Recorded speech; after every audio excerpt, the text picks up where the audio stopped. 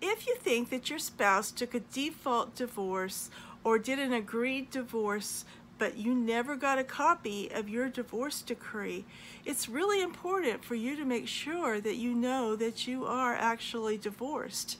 There are times whenever cases get dismissed for want of prosecution because nobody pursued it, or whenever the um, other party, for some reason or another, just never got the judge to sign the final decree of divorce.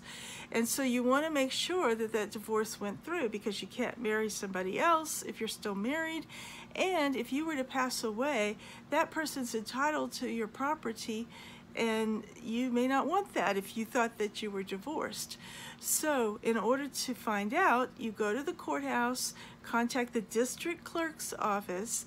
They would like to have the cause number of what the divorce was filed under. I do. I did. I'm done. Come see me.